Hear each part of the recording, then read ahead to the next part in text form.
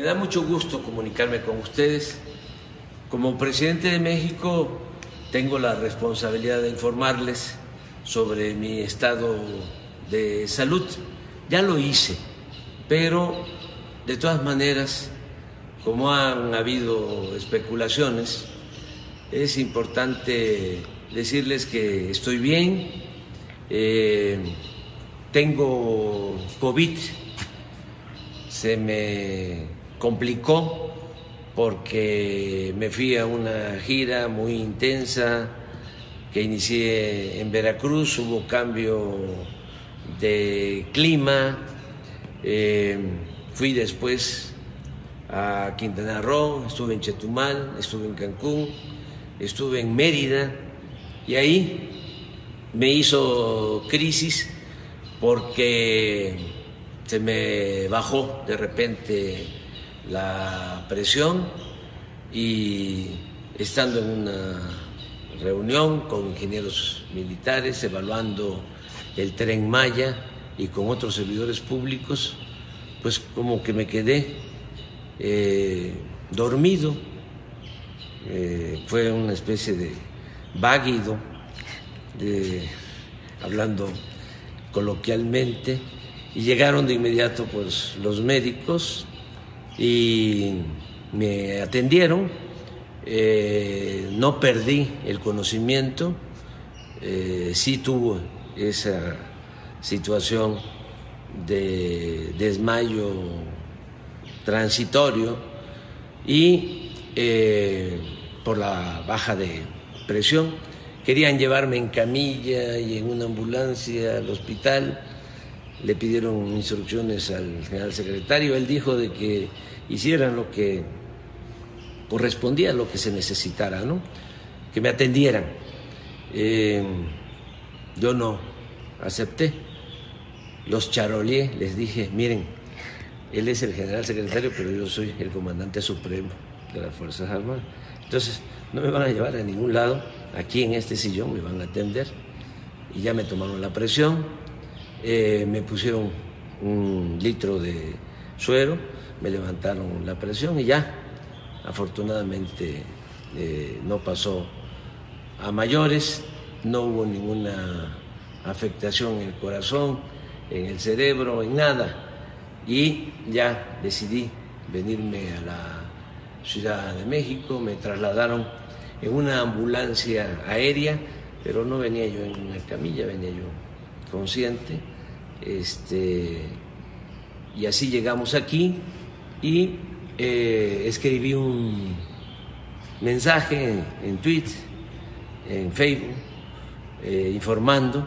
Sin embargo, pues eh, empezaron las especulaciones, porque pues mis adversarios tienen mucha imaginación y es como decirles ahora aunque lo tendría que estar repitiendo, decirles el muerto que tú matáis o que vos matáis, goza de cabal salud, porque han dicho muchísimas cosas, ¿no? De que eh, me dio un derrame cerebral, de que aquí en Palacio están médicos especialistas de cardiología del hospital militar y no es así.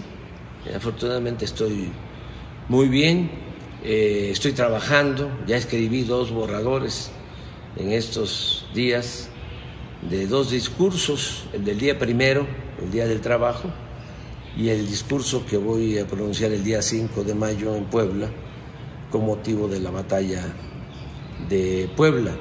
Estoy bien, eh, me están informando de lo que está sucediendo en el país. Afortunadamente las cosas están marchando en lo económico, el peso sigue eh, fuerte como nunca en 40, 50 años. Es la moneda que más se ha fortalecido en el mundo, que más se ha eh, revaluado, eh, que no ha tenido ningún problema. También es muy buen dato el del día de ayer, antier, de que está bajando la inflación y eh, sigue creciendo la economía, sigue habiendo empleos, eh, se están aplicando en todo el país los programas de bienestar, estamos eh, avanzando también en garantizar la seguridad pública, está bajando la incidencia, la incidencia delictiva, en fin, vamos bien, estamos bien y de buenas. Eh, y bueno, eh, yo creo que el Creador y los deseos que tenemos de vivir nos van a permitir eh, terminar nuestro mandato. Aquí estamos en este recinto, en esta intendencia. Aquí fue donde mantuvieron preso cuatro o cinco días al presidente Madero el apóstol de la democracia, un hombre bueno que fue víctima de una pandilla de, de rufianes. Y cuando llegamos aquí, este, creamos pues este museo se llama Intendencia de la Tradición. Miren, tratamos de reconstruirlo, hacerlo como estaba en esa época, en ese tiempo. Este, aquí estuvo con José María Pino Suárez, vicepresidente de la República, caballero de la lealtad, tabasqueño, de Tenosique, Tabasco.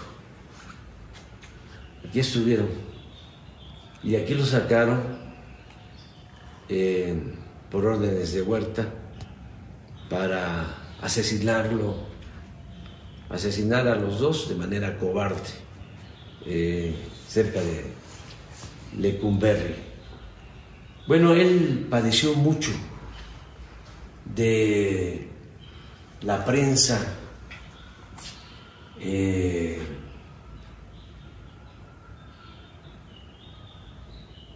calumniosa,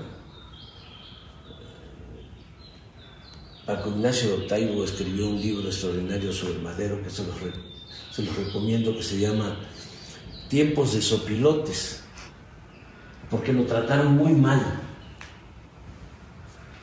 los periodistas de ese entonces y también los intelectuales, este, que volvieron huertistas, tanto periodistas como los intelectuales, muy pocos, muy pocos este, se mantuvieron eh, leales al presidente Madero, que fue un hombre excepcional, excepcional, uno de los mejores dirigentes políticos del mundo, un verdadero demócrata. No ha habido en México un presidente con más vocación democrática que Madero y resistió eh, una campaña de desprestigio de parte de toda la prensa de ese entonces, al grado de que llegaron a eh, llamarle loco, espiritista, pigmeo, lo ofendieron mucho, como también ofendieron a Hidalgo en su momento, bueno, al padre de nuestra patria no solo lo ofendieron, lo asesinaron, le cortaron la cabeza, le exhibieron 10 años en la plaza de Guanajuato los conservadores, que son este, gentes de malas entrañas, que siempre andan deseándole el mal a otros. Hablo de Hidalgo, pero pues lo mismo, padeció Morelos y luego Juárez, que fue tratado de manera racista, el mejor presidente que ha habido en la historia de nuestro país. Hay tres presidentes que hay que recordar con mucho cariño. Benito Juárez, Francisco y Madero y el general Lázaro Cárdenas del Río también padeció este, una campaña en su contra muy fuerte de los oligarcas, los que se eh, opusieron a la expropiación petrolera. Fíjense, no les afectaba en nada porque el petróleo estaba en manos de compañías extranjeras, sin embargo, ellos se sintieron ofendidos, los oligarcas mexicanos. También, pues no les gustó que el general Cárdenas entregara la tierra a los campesinos, no les gustó que el general Cárdenas impulsara la educación pública. Y así ha sido siempre, ¿no? Ahora que me he vuelto a enfermar, llama mucho la atención el odio, ¿no? De algunas personas eh, que quisieran, pues, que yo desapareciera, pero no deben de actuar de esa manera. Ya hasta me producen eh, sentimientos de afecto, mm, porque los considero muy desprovistos de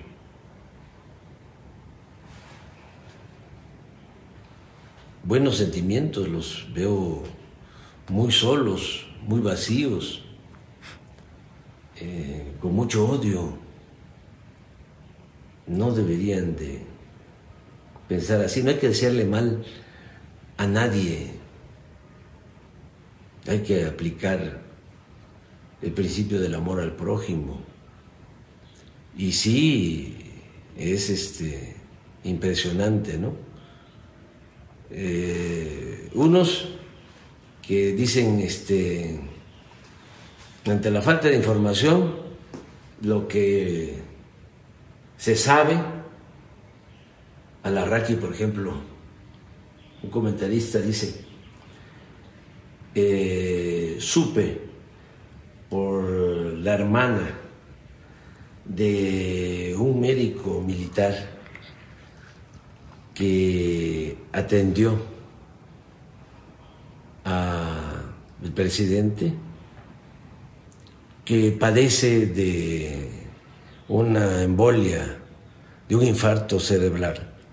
Eh, tengo este otro informe parecido, este, de gente que está hablando de eso. Luego Riva Palacio igual, sí le dio COVID, pero también tiene un este, derrame cerebral, cerebral y lo están atendiendo eh, muchos médicos, y así, y otros hasta este, quienes ya me dieron por muerto.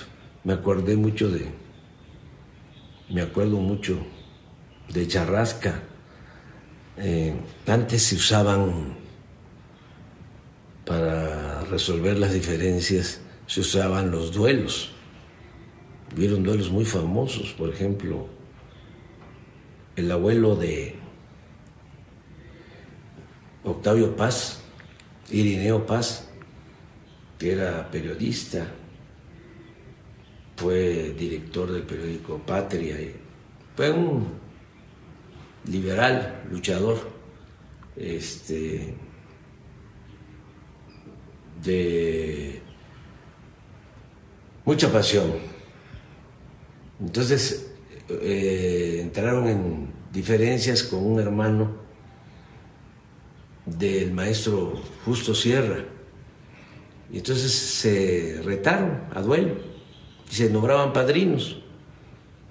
Y eh, Ireneo Paz este, mató en el duelo al hermano de Justo Sierra, del maestro Justo Sierra, el maestro de América, secretario de Educación en la época de Porfirio Díaz. Además, mecenas, impulsor de poetas y de grandes escritores de esa época, ¿no? Bueno, pero hay otro caso de un duelo en Peralvillo, donde a un personaje llamado o conocido como Charrasca, lo retan a un duelo y él este, nombra a su padrino y el otro pues también nombra a su padrino, definen la hora, el día, y el caso es que no se presentó Charrasca a la hora y el día y al día del duelo. Y le dijo al padrino, tú les dices que no me voy a presentar. Y este, y es eh, muy chistoso porque el padrino de Charrasca le dice a los otros, ¿no? al del duelo y a su padrino, dice Charrasca que no se va a presentar y que lo den por muerto y que vayan y ya, se insultan. ¿no? Entonces, a mí me han dado por muerto varias veces.